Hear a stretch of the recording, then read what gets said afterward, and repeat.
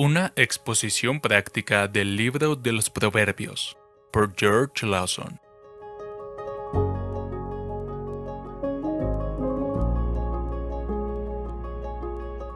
Capítulo 7 versículos 13 al 20. Así que ella lo agarra y lo besa, y descarada le dice, tenía que ofrecer ofrendas de paz, y hoy he cumplido mis votos. Por eso he salido a encontrarte, buscando tu rostro con ansiedad, y te he hallado. He tendido mi lecho con colchas, con linos de Egipto en colores. He rociado mi cama con mirra, aloes y canela. Ven, embriaguémonos de amor hasta la mañana. Deleitémonos con caricias porque mi marido no está en casa, se ha ido a un largo viaje, se ha llevado en la mano la bolsa del dinero, volverá a casa para la luna llena.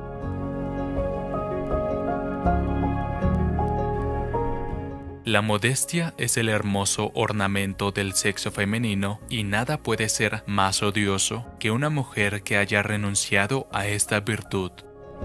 Cuando se derriba este cerco de virtud, el libertinaje es la consecuencia natural e inevitable.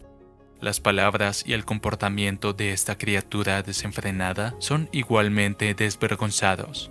Sin embargo, con maravillosa inconsistencia, ella pretende ser religiosa, el banquete que le ofrece a su amante es esa parte de las ofrendas de paz que según la ley había reservado para ella y sus amigos después de pagar sus votos al Señor. Es extraño decirlo, y sin embargo muy cierto, que hay personas que se esfuerzan por unir el servicio de Dios y el servicio de Belial. Desean que sus pasiones sean gratificadas y en todo lo demás obedecer a los dictados de la conciencia pero no son más que insensatos aquellos que piensan que pueden comer de vez en cuando un poco de veneno y aún así vivir y disfrutar de una salud tolerable siempre y cuando tomen alimentos sanos en otras ocasiones. Dios es glorioso en mostrar misericordia a los pecadores, pero no mostrará ninguna al pecador. Ella pretende tener una especial y tierna consideración por este miserable joven al cual desea hacer caer en sus trampas y tiene la intención de aprovechar un encuentro accidental para probarlo. Las palabras son muy baratas y las más ardientes profesiones de bondad son en su mayor parte las menos sinceras. La vieja serpiente se valió de este artificio para engañar a nuestra común madre Eva.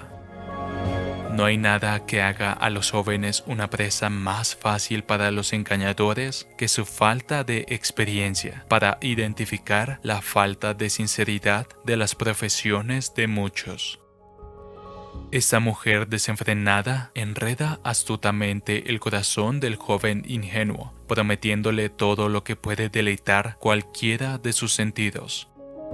Ella lo entretendrá poniendo a su disposición los delicados manjares con los que se hacían los banquetes de su religión. Los ojos del joven se entretendrán con la visión de los bienes de su hogar, tan valiosos por sus materiales como por su elaboración su cama está adornada por el más fino lino y toda la casa está perfumada con fragancias emitidas por las flores más fragantes. Todos estos placeres, según ella le informa, pueden ser disfrutados con la más perfecta seguridad, pues su marido se ha ido lejos de casa y es seguro que no regresará hasta la hora determinada pues tiene muchos negocios que tramitar y ha llevado consigo una gran cantidad de dinero para cubrir sus gastos y para comerciar. Cuídate de aquellos pecados que te son presentados como pecados agradables.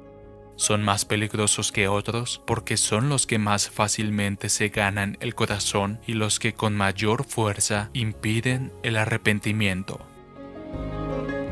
Eva descubrió que el placer del fruto prohibido era solo una introducción al horror y al remordimiento. Nuestros corazones deben ser protegidos contra toda aceptación del pecado con motivaciones que sean más fuertes que el temor a ser descubiertos y avergonzados porque aquellos que buscan el mal fácilmente burlarán tales restricciones.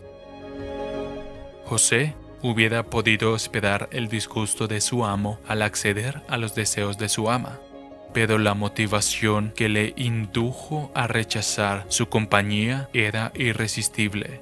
¿Cómo voy a hacer esta gran maldad y pecar contra Dios? Sin embargo, el infeliz protagonista de la historia del sabio no era un José. Así que ella lo agarra y lo besa, y descarada le dice, tenía que ofrecer ofrendas de paz y hoy he cumplido mis votos. Por eso he salido a encontrarte buscando tu rostro con ansiedad y te he hallado. He tendido mi lecho con colchas, con linos de Egipto en colores. He rociado mi cama con mirra, aloes y canela. Ven, embriaguémonos de amor hasta la mañana. Deleitémonos con caricias, porque mi marido no está en casa. Se ha ido a un largo viaje, se ha llevado en la mano la bolsa del dinero, volverá a casa para la luna llena. Capítulo 7, versículos 13 al 20 traducido por Canal Edificando de Grace James.